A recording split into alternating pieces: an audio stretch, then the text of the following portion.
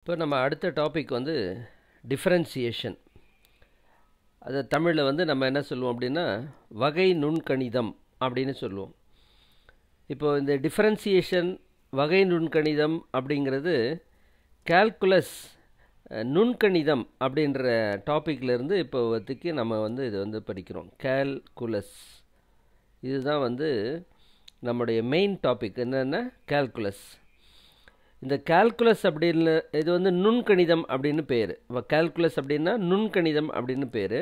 இதில் வகை நுண்கணிதம் டிஃபரன்சியேஷன் அப்புறம் தொகை நுண்கணிதம் இன்டகிரேஷன் அப்படின்னு சொல்லிட்டு இந்த கால்குலஸ் அப்படின்ற டாப்பிக்கில் இருந்து தான் இப்போ நாம் வந்து இதை படிக்க போகிறோம் இது நுண்கணிதம் அப்படின்றதுனாலே நீங்கள் வந்து நம்ம வந்து நல்லாவே புரிஞ்சுக்கணும். ஒரு சாதாரண எல்லா விஷயங்களையும் நுட்பமான விஷயங்கள் நிறைய இருக்குது அதெல்லாம் வந்து நாம் வந்து மேத்தமெட்டிக்கலாக மாடல் பண்ணி நம்ம வந்து அதை பண்ணுறதுக்கு இந்த மாதிரி டிஃப்ரென்சியேஷன் இன்டகிரேஷன் அப்படின்றதெல்லாம் யூஸ் ஆகுது. இதோடைய அட்வான்ஸ்டு டாபிக் வந்து differential equation partial differential equation அப்படின்னு இது கண்டினியூ ஆகுது. ஸோ எல்லாத்துக்கும் அடிப்படை வந்து இப்போதைக்கு இந்த பார்த்திங்கன்னா இந்த வகை நுண்கணிதம் அப்படிங்கிற டிஃபரன்சியேஷன் இப்போ இந்த டிஃப்ரென்சியேஷனை வந்து நம்ம வந்து நம்ம எப்படின்றது பார்த்திங்கன்னா இந்த நுட்பம் அப்படின்னு சொல்கிறப்ப சப்போஸ் எல்லா விஷயங்கள்லேயும் ஏதாவது ஒரு மாற்றம் நடந்தால் அதுக்கு விளைவுன்னு ஒன்று இருக்கும். அது மாதிரி y is equal to f of x அப்படின்ற ஒரு ஃபங்க்ஷன் அப்படின்ற நம்ம ஒரு ஃபங்க்ஷன் எடுத்துக்கிறோம் அப்படின்னா எக்ஸில் ஏதாவது ஒரு மாற்றம் நடக்குது அப்படின்னா கண்டிப்பாக அது ஒய் ஒய்யில் மாற்றம் நடக்கும். ஸோ இப்போ இந்த மாற்றம் வந்து மிகச்சிறிய அளவில் இருக்குதுன்னு வச்சுக்கோங்க. ரொம்ப ரொம்ப சின்னதுன்னு வச்சுக்கோங்க. அப்போ அதெல்லாம் என்ன செய்யறது அப்படின்ற அந்த கான்செப்டில் தான் நம்ம போகிறோம் அப்படி போகும்போது தான் நமக்கு இந்த டிஃப்ரென்ஷியேஷன்ற இந்த கான்செப்ட் வருது. அப் அதாவது dy by dx dy by dx அதாவது differentiation of this function y dy அப்படின்னா என்ன மீனிங் அது வந்து ஷார்ட் ஃபார்மில் நம்ம எழுதுகிறோம் differentiation of this function y with respect to x with respect to x அப்படின்றத நம்ம வந்து டிஎக்ஸ் அப்படின்றது எழுதுகிறோம் ஸோ இப்போ இந்த மீனிங் என்ன அப்படின்னு கேட்டிங்கன்னா differentiation of the function y with respect to x அதாவது எக்ஸை பொறுத்து ஒய்ன்ற இந்த ஃபங்க்ஷனுடைய டிஃபரன்சியேஷன் அப்படின்றது நம்ம மீனிங் டிஒய் பை டிஎக்ஸ் அப்படின்றது மீனிங் ஸோ இப்போ வந்து நம்ம வந்து இந்த ஃபங்க்ஷன்ஸ் வந்து நம்ம வந்து எழுதியிருக்கேன். இந்த sine x cos x tan எக்ஸ்னு ஒரு இருபது ஃபங்க்ஷன்ஸ் எழுதியிருக்கேன் நான். இப்போ அந்த இருபது ஃபங்க்ஷனுடைய டிஃப்ரென்சியேஷன் என்ன அப்படின்றதையும் எழுதியிருக்கேன் இப்போ நான்.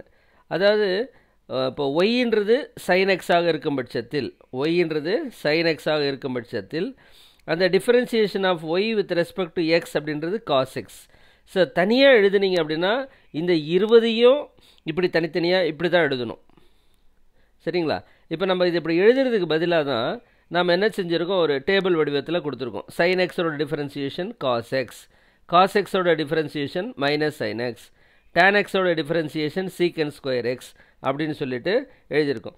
சப்போஸ் இப்போ நீங்கள் அந்த ஃபங்க்ஷனுக்கு பேர் ஒய் அப்படின்னு வைக்கல அப்படின்னா differentiation of sine x with respect to x equal to cos x அப்படின்னு எழுதலாம்.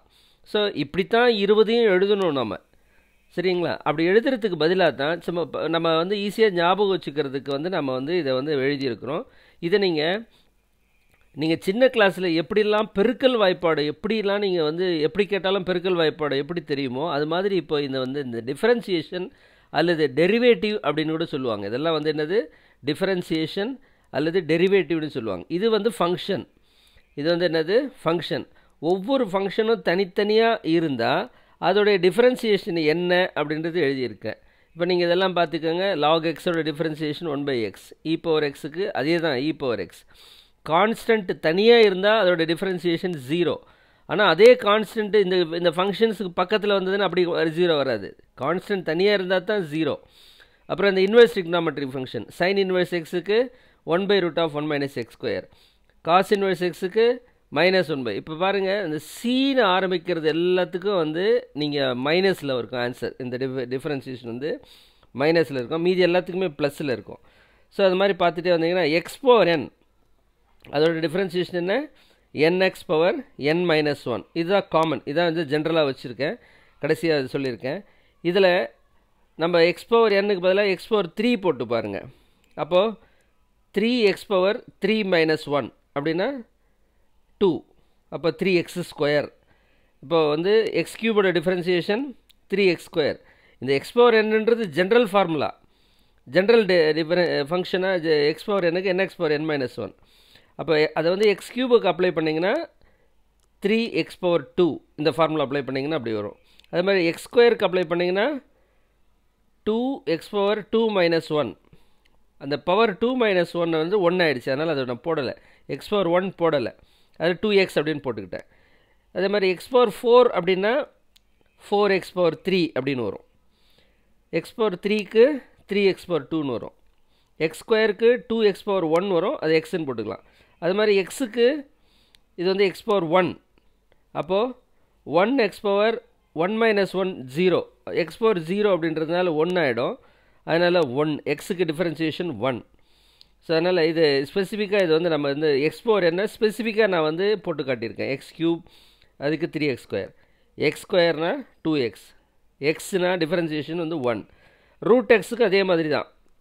X power one by two x root எக்ஸ்னால் x power one by two அப்போது one by two x power one by two minus one அதை நம்ம simplify பண்ணால் one by two root எக்ஸ்னு வரும்.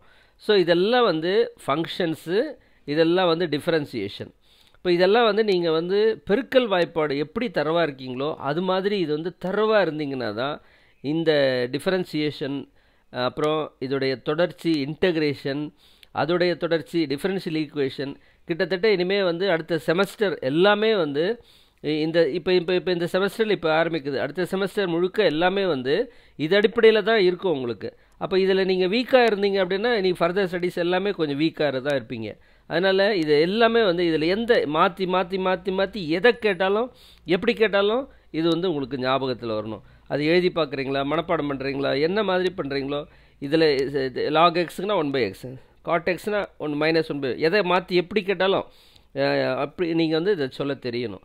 அப்படி practice பண்ணிக்கோங்க. அடுத்து ப்ராப்ளம்ஸ் பார்க்கலாம்.